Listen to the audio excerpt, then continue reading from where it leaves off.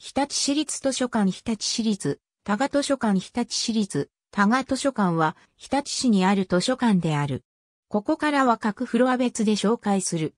2階に主な施設が揃っている。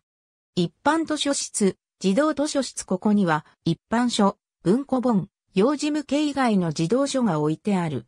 カウンター、雑誌コーナーなど、ここでは貸し借りや AV 資料、雑誌、新聞が置いてある。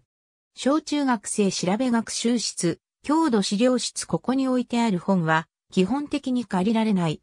また、ここで勉強が可能。小中学生が優先される時がある。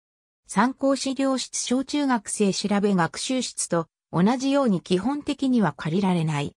ここでも同じく勉強が可能。ここは優先などはない。1階には2007年から整備されてきている。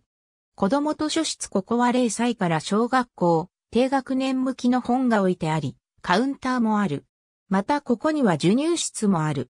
お話広場、ふわふわここには子供向きの大型本や紙芝居が置かれている。